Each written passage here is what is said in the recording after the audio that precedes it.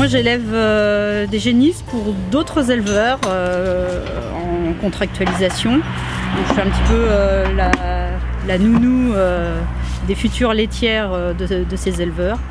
Euh, voilà, donc actuellement on a contractualisé pour, euh, pour élever environ 220 génisses et l'objectif à terme c'est d'atteindre un effectif de 350 à 400 génisses.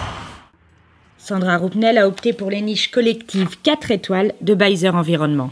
Euh, une bonne case collective, alors c'est à la fois une case qui soit facile à vivre au quotidien pour l'éleveur, puisque je dirais que c'est un peu l'inconvénient euh, du plein air, c'est qu'on ne travaille pas toujours euh, dans les meilleures conditions, donc il faut quand même du matériel qui soit pratique, facile à utiliser, facile à nettoyer.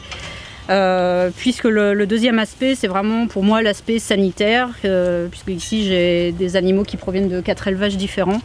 Et voilà, il faut qu'on puisse gérer des petits lots d'animaux, bien désinfecter le logement.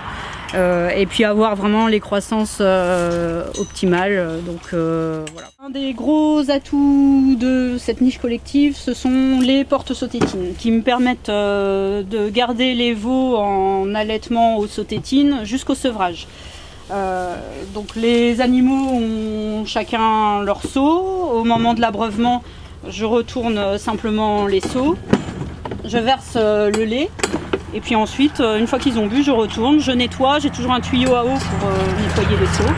Une fois que les veaux sont sevrés, on a la possibilité de basculer euh, les portes sautétines pour qu'ils ne soient pas gênants et accéder aux seaux ou aux auges qui se situent en dessous relativement facilement. L'objectif c'est qu'ils y passent 4 mois à peu près, puisqu'ils arrivent dans les niches collectives à l'âge de 5 semaines, après avoir passé quelques semaines en niche individuelle et ils vont y rester jusqu'à l'âge de 5 mois environ. Euh, après, ils commencent à devenir trop gros pour, euh, pour la niche et pour le matériel, donc on les passe euh, en stabulation. L'été, je les sors encore plus vite des niches collectives puisqu'on fait une mise à l'herbe autour de 130-140 kg. donc il y a un turnover plus rapide dans les niches collectives. Là, on a du tubulaire de grosses dimensions, solide, qui peut supporter euh, la présence euh, et l'utilisation par des génisses euh, jusqu'à 5-6 mois, avec des cornadis à blocage individuel ou collectif. Ça c'est plutôt pratique en cas de soin sur un animal. Les niches arrivent en kit. le montage est assez simple et se fait avec une simple perceuse. donc il faut percer pour monter la fenêtre coulissante, le râtelier, et les supports euh, de la cour euh, sur la niche. Et ensuite, euh, tout se fait par un simple jeu de montage avec des baguettes qui permettent d'emboîter les éléments. Alors là, ce qui n'est pas encore monté sur celle-ci, ce sont les, aérations et le crochet de levage et la fenêtre au fond. Voilà. Donc ce matin, en une heure, le salarié, il a fait tout ça. Il n'a pas eu le temps de. Voilà. Je pense qu'il lui aurait fallu une heure et demie. Alors les niches sont équipées de fenêtres coulissantes, telles que celle-ci, qui permettent un accès direct euh, au râtelier pour pouvoir euh, mettre euh, le fourrage matin et soir dans les niches. ce qui est très pratique et qui permet aussi de laisser une aération, un courant d'air l'été quand il fait très chaud à l'intérieur des niches. Livré avec les niches, on a des grilles de séparation qui permettent de bloquer les animaux soit à l'intérieur, soit à l'extérieur euh, de leur aire de vie.